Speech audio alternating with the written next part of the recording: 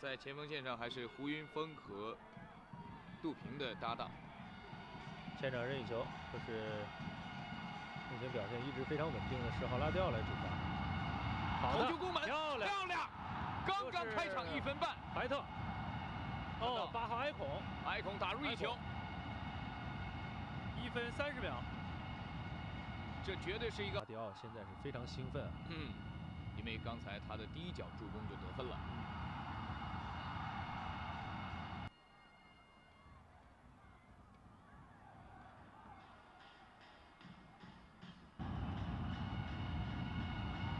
现在呢，想金德获得机会，埃孔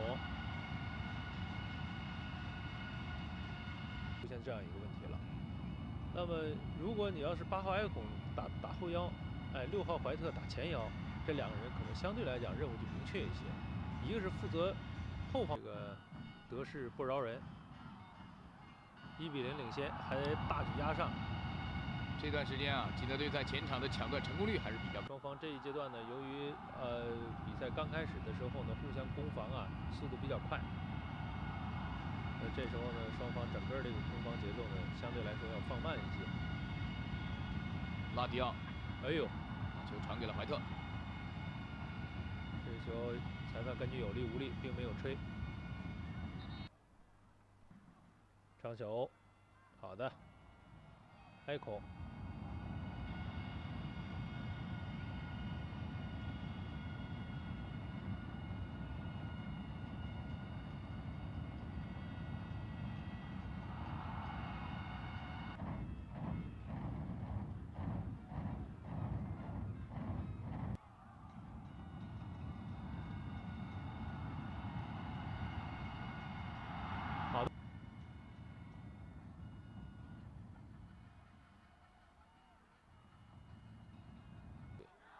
相对来讲，埃孔呢在中场呢，他是一个核心的地位。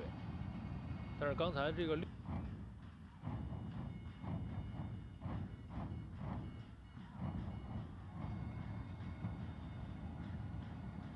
打出的是北京现代队首发上场的队员名单。呃，从刚才这个名单上来看呢，和双方一开场拼抢的还是十分的激烈。北京现代队首发上场的队员名单，呃，从刚才这个名单上来看呢，和阿尤，阿尤拿球之，埃孔，对，一旦中场拿球啊，其他队员应该全力的往上跑，形成合围或者反击。这他在国家队的时候呢，就是国家队的一个不错的这个进攻的点。看来呢，还对他这个上一轮比赛呢，姚健表现的非常出色。开口。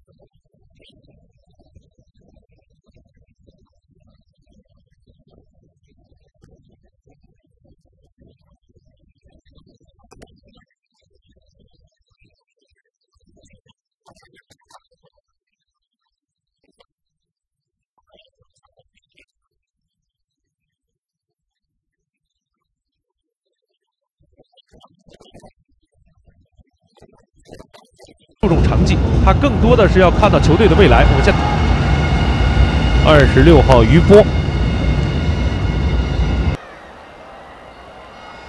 埃孔，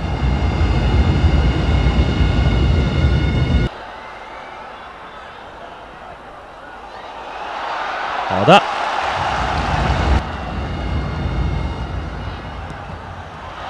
二号廖。他说：“这名球员呢，身材不是很高，但是技术呢还是比较出众的。而且呢，我和很多金德队的球员呢也了解了这名球员，他说确实打得不错。